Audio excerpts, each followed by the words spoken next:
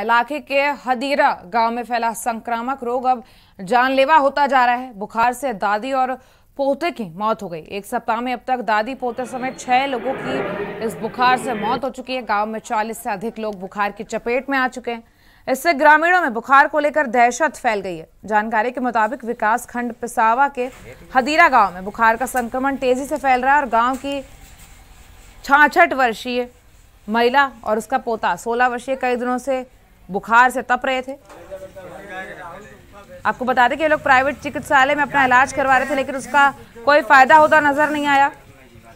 जिसके चलते बुखार से दोनों की मौत हो गई। तब से ग्रामीण सरकारी दवाई के बजाय प्राइवेट डॉक्टरों से अपना इलाज करा रहे हैं।